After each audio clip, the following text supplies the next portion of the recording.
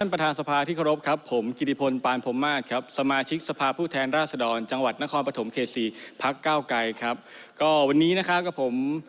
จะร่วมอภิปรายในยติอาราคาพืชผลทางการเกษตรตกต่ำนะครับ โดยประเด็นที่ผมจะนำเสนออภิปรายในวันนี้นะครับ เป็นประเด็นของราคาเนื้อหมูหน้าฟาร์มตกต่ำครับ ขึ้นสไลด์ด้วยครับผมอ่า ราคาตกต่ำนะครับ เนื่องจากมีการลักลอบนำเข้าหมูกล่องหรือหมูเถื่อนนะครับ สร้างผลกระทบต่อเกษตรกรผู้เลี้ยงหมูทั่วประเทศนะครับ ทั้งที่จริงแล้วในช่วงเวลานี้นะครับ ควรเป็นเวลาที่เกษตรกรผู้เลี้ยงหมูนะครับ ควรฟื้นตัวต่อวิกฤต โรคอหิวาสุกรแอฟริกันนะครับที่เกิดขึ้นในปี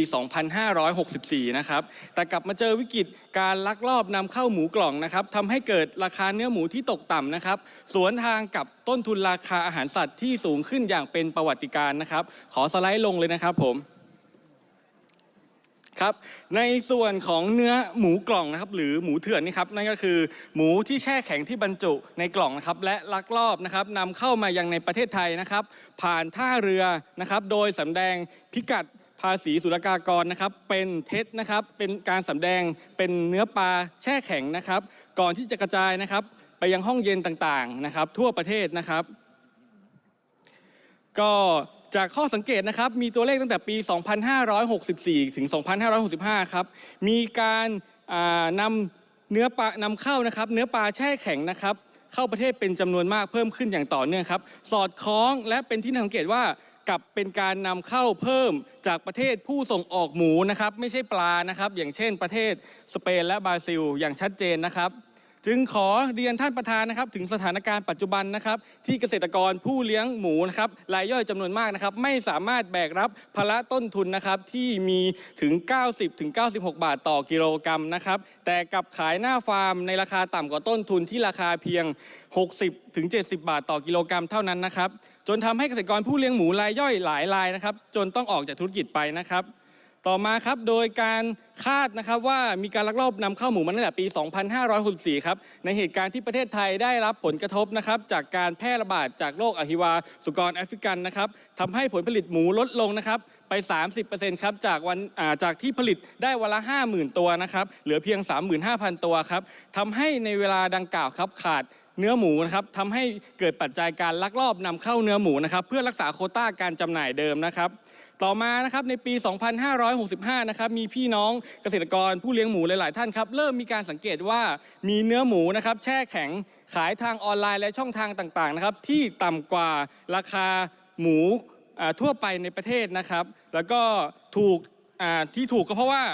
ทั้งหมูในต่างประเทศครับมีต้นทุนทางโปรตีนต้นทุนทางอาหารนะครับถูกและปัจจัยการควบคุมอื่น ๆ ด้วยครับ ต่อมาในปลายปี 2565 นะครับ มีการตรวจพบว่ามีการลักลอบนำเข้าเนื้อหมู เข้าห้องเย็นอย่างหลายแห่งนะครับ แล้วก็มีการดำเนินคดีอยู่ในปัจจุบันนะครับผม จากการคาดการณ์นะครับมีข้อมูลนะครับว่ามีการลักลอบนำเข้ามากว่า 15,000 ตู้ หรือมากกว่า 300,000 ตันนะครับ มูลค่ามากมายครับมากกว่าถึง 20%ของหมูเนื้อหมูในตลาดเลยทีเดียวครับ ท่านั้นยังไม่พอครับการนำเข้าเนื้อหมูครับอาจจะไม่ได้นำเข้าเพียงท่าเรือแหลมฉบังเท่านั้นครับแต่ยังมีการนำเข้าจากท่าเรืออื่น ๆด้วยนะครับซึ่งสร้างผลกระทบให้กับเกษตรกรผู้เลี้ยงหมูในประเทศอย่างมากมายมหาศาลครับท่านประธานครับ นอกจากราคาเนื้อหมูจะตกต่ำแล้วนะครับ เนื้อหมูเถื่อนนะครับยังไม่ได้ผ่านกระบวนการตรวจสอบมาตรฐานอีกหลาย ๆ มาตรฐานครับนั่นอาจจะเป็นสาเหตุทำให้ผู้บริโภคในประเทศไทยนะครับ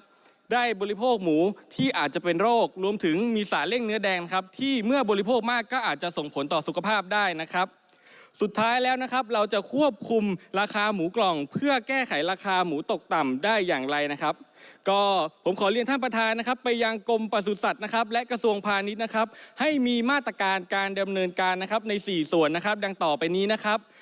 ข้อหนึ่งนะครับให้เร่งนะครับติดตามการดำเนินคดีและขยายผลดำเนินคดีอย่างจริงจังกับผู้ที่เกี่ยวข้องนะครับในการลักลอบนำเข้าเนื้อกล่องเนื้อหมูนะครับหมูกล่องทุกฝ่ายนะครับทั้งผู้นำเข้าผู้ชิปปิ้ง ห้องเย็นและเจ้าหน้าที่ที่เกี่ยวข้องนะครับรวมถึงให้หน่วยงานนะครับเปิดเผยความคืบหน้าหรือข้อมูลต่างๆ ที่ไม่เป็นผลเสียต่อรูปคดีนะครับให้สาธารณะได้รับทราบเป็นระยะครับ ข้อสองครับ ควรเข้มงวดกับการตรวจสอบนะครับตู้คอนเทนเนอร์ที่นำเข้าอาหารแช่แข็งนะครับและห้องเย็นต่างๆ ที่เก็บเนื้อหมูจากต่างประเทศนะครับ เพื่อป้องกันการลักลอบเข้ามาเพิ่มเติมนะครับ ข้อที่สามนะครับควรติดต่ออติดตามนะครับและตรวจสอบการขายเนื้อหมูนะครับที่ราคาต่ำกว่าตลาดนะครับผิดปกตินะครับ โดยตรวจสอบควรตรวจสอบว่าเนื้อหมูมีที่มาอย่างไรนะครับ มาจากการลักลอบนำเข้าหรือไม่นะครับ และข้อที่ 4 ครับ เราจำเป็นต้องสื่อสารถึง